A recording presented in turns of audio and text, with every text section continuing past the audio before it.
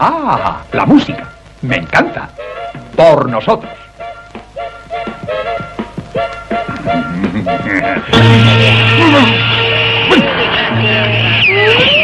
Se le salen los ojos de las órbitas. el agua.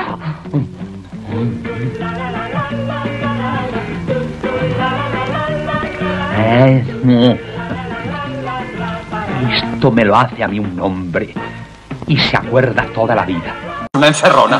Que me hagan un volante, un salvoconducto, lo que sea. Pero yo me largo. Es que yo no, no tengo autoridad. Verá, señor Bermejo, se trata de volver a sentir lo que es pasar una noche en una celda. Está en el programa, ¿no lo ha leído? Yo que voy a leer. Pero desde luego con estos no duermo. Por favor. Por, por culpa del cura este de los cojones, tuve que chuparme una condena. El actor este, además de ser un pelmazo, es maricón. Y ese señor que habla tanto de conciencia política es un jodido banquero que se niega a darme créditos. Si hay que dormir aquí, yo me voy a otra celda.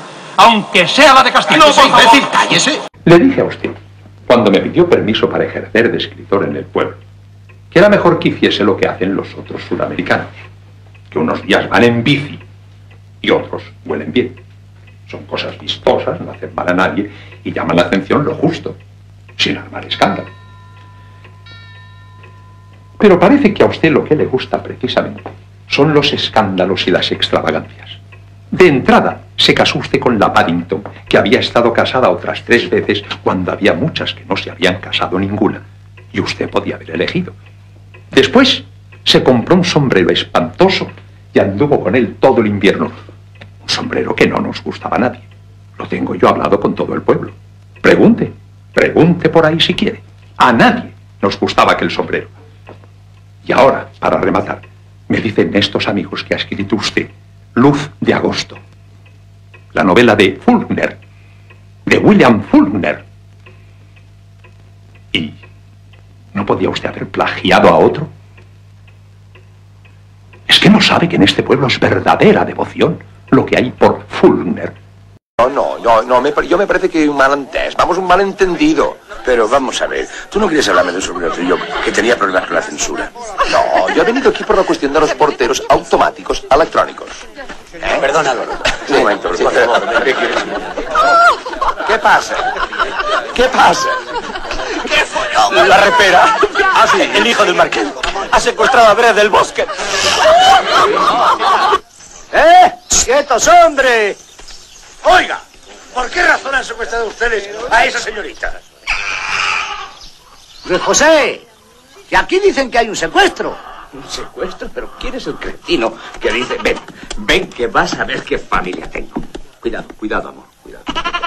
Es- Un secuestro, pero ¿a quién se le ocurre? ¿Y vienen todos? Ya, ya. A ver, ¿quién es el imbécil que ha dicho que esto es un secuestro? ¿Eh? ¿Quién? Tú estás secuestrada. Es mucho más sencillo todavía. Vera y yo hemos decidido quedarnos a vivir aquí juntos. Para siempre. Se ha vuelto loco. Lo mejor es que le sigamos la corriente y llamemos a una ambulancia. Escucha, hijo. Todos sabemos lo que es un capricho. A mí me parece bien que si a ti te gusta esa señorita... Pero... Que si me gusta. ¿Está usted oyendo, padre? ¡Rodillas! ¡De rodillas delante de tu mujer, insensato! ¡Mi mujer! Eso no es culpa mía, sino de la rota. Le consta que llevamos 10 años detrás de la anulación. ¿Pero cómo la rota? Ni rota ni nada. Unidos en el bien y en el mal, crápula. Juntos hasta que la muerte os separe.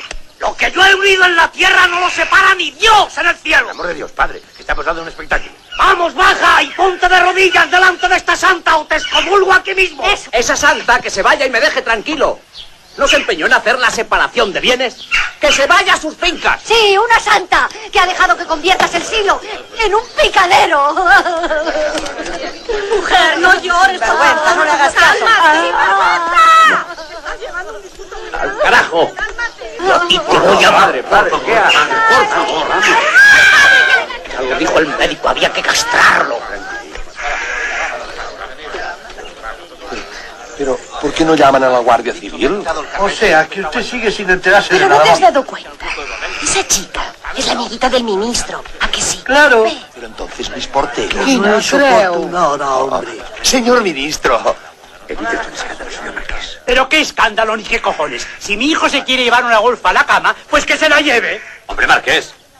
Me estás ofendiendo. Ajá, es cierto. Usted es el novio de esa señorita, ¿no? Pues nada, cuando mi hijo haya terminado con ella, me dice lo que le debo y en paz. ¡Y no me tutee! Por favor, por favor, no exagere, señor Marqués. Vayan ustedes al taco. por Vamos, llévense al señor Marqués eso, a casa, taco. ahora mismo. Yo me quedo aquí. Vámonos. Y que Yo se me las quedo aquí apañen con el ellos. Y entre los dos estudiaban la manera... Señores, vayan ustedes al taco. Allí hay caldo calentito. Estarán muy bien.